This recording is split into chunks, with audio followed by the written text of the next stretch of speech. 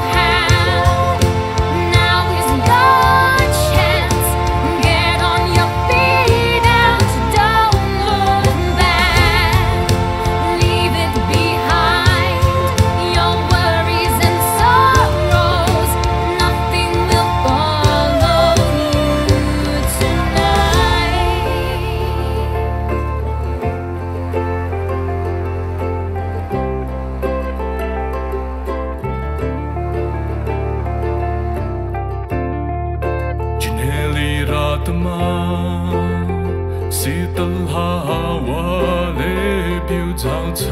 मलाई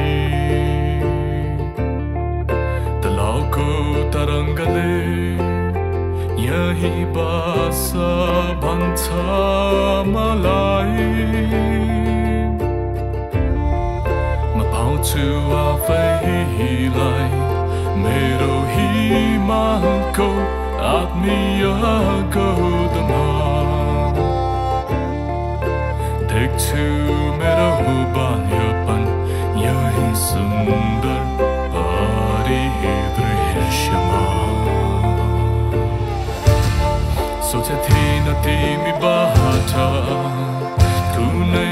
दिन बिछोड हुनेछु भनेर तर बुझ्नु छ